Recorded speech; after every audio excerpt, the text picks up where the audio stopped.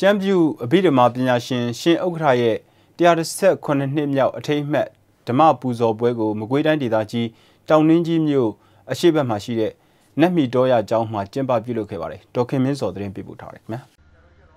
ကျမ်းပြူအဘိဓမ္မာပညာရှင်ရှင်ဥက္ကဋ္ဌရဲ့118နှစ်မြောက်အထိမ်းအမှတ်ဓမ္မပူဇော်ပွဲကိုနိုဝင်ဘာလ22ရက်နေ့ကတောင်လေးကြီးမြို့အရှိဘက်မှာရှိတဲ့လက်မီတော်အကြောင်းမှာကျင်းပခဲ့တာပါဆရာတော်အချင်းစန္ဒာတိကဆရာတော်ဒေါက်တာဓမ္မကင်းက ဆရာတော်ဒေါက်တာမုနိကုမာရတို့ကတရားတော်တွေရှင်းပြခဲ့သလိုစာရေးဆရာမဆက်ဆက်နဲ့တရားဝတီကလည်းတက်ရောက်ဟောပြောခဲ့ပါတယ်ကျမလာတော့အင်တန်စိတ်ဝင်စားလို့လာ။ဘာကြောင့်လဲဆိုဆရာတော်ရဲ့တရားတော်တွေအကုန်လုံးကိုကျမမဖတ်ဘူး။နော်မဖတ်ဘူးတော့လေငယ်စဉ်ဘဝတွေကအဲလူသေးလူပြစ်ဆိုတာအင်မတန်ကျမတို့ဆယ်ကျော်သက်မှာ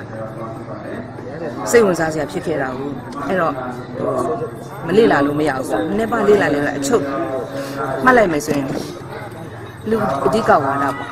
လူရဲ့ကျင့်စဉ်နဲ့လူရဲ့စွမ်းရည်အဲ့ဒါကိုအဓိကဝါဒဆိုတဲ့အခါကျဒီမှာစိတ်ဝင်စားဆရာတော်အချင်းဥက္ကဋ္ဌရဲ့လူသေးလူဖြစ်အယူဆဟာ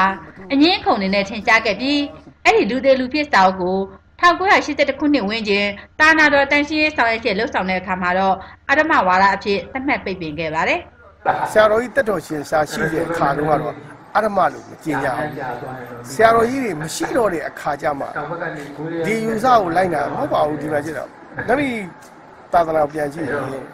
ဒါထေရဝါဒဘုရားဘာသာအတွင်းမှာပဲရှိတာဒါပေမဲ့ဒီစာအုပ်ကိုပြောရင်တော့ဝါဒအနေနဲ့မဟုတ်ဘူးအတွေးခေါ်တရားအနေနဲ့နိုင်ငံခြားမှာရှိရဆို patron cell လို့လို့